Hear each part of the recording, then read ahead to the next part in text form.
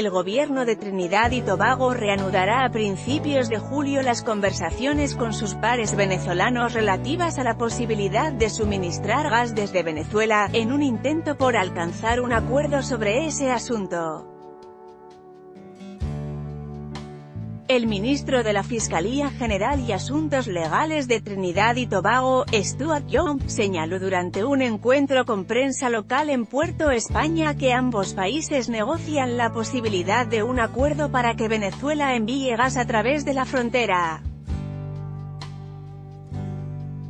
El ministro, junto con su delegación y directivos de la compañía Shell, acordaron regresar a Caracas en dos semanas en el intento por cerrar un acuerdo, con información de EFE.